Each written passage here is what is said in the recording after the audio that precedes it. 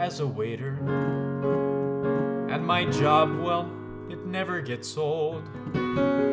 I've seen romances bloom, wild affairs meet their doom. Every night, some new sight to behold.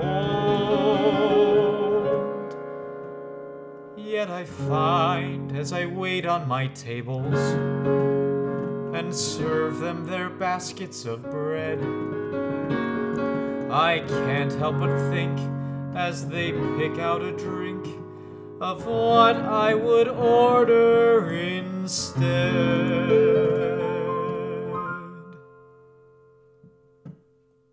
I'd order love, delicious, well seasoned, and rare.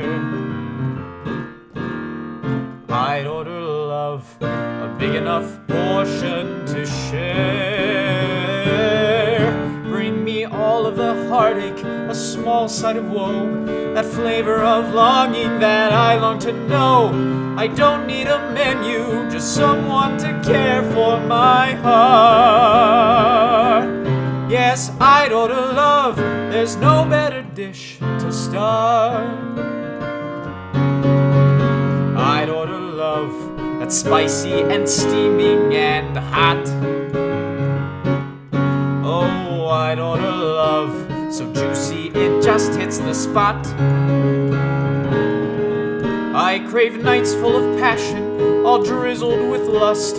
Breakfast in bed is an absolute must. Then bring on the marriage, but don't top it off with divorce. Yes, I'd order love, it's the very best second course. I'm tired of always observing loving couples all dreamy and sweet. For years I've been patiently waiting. When's it gonna be my time to eat? This lack of attention's unnerving.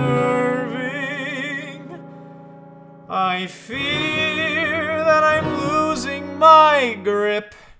If Cupid keeps up this substandard service, I'm screwing him out of his tip. Won't get no tip. Big finish! I'd order love, appetizer, main course, and dessert. Ball change! Yes, I'd order love, even if it was peppered with hurt.